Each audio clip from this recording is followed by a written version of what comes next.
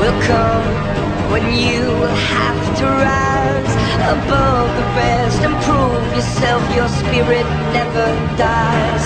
Farewell, I've gone to take my throne above, but don't weep for me, 'cause this This is the last mistake you'll ever make.